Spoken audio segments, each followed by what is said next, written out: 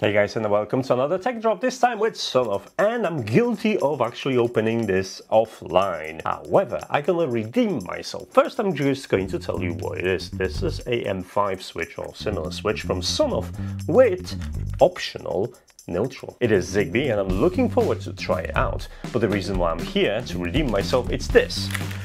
That looks strange. I have a version with two holes and bunch of 3D printed brackets. Okay, this is obviously a prototype stage, meaning that Sonoff sends me stuff very early, and they ask me to showcase these two. These are new switches, Sonoff Orb RBS and MV1. In a nutshell, this is a enclosure for your Sonoff Mini R4M, M standing for Matter. This one's slightly different because it has an up and down and supports a Sonoff Mini RBSE Matter-enabled shutter controller. If you want to know more, the video will follow soon.